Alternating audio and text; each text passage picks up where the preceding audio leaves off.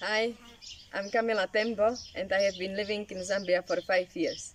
Me and my husband, we have a piece of land in Mukuni village in southern province of Zambia near the Victoria Falls.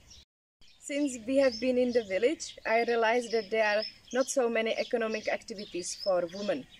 Traditionally, men are doing woodcraft activities, but women, they don't have access to any stable income. The community is located in the Mongongo tree belt and uh, currently the trees are being cut down because there is no value added to them. The trees grow to about 20 to 50 meters tall. It takes 25 years for the tree to start bearing the fruits. The fruits of the mongongo trees are mongongo nuts, which are rich in protein, magnesium, zinc, vitamin E, and others. The mongongo nuts are used in cooking and cosmetics. I have been working uh, on a project which I call Mongongo Value Chain. The project is aiming uh, to protect the Mongongo trees, the environment, natural resources and their sustainable management.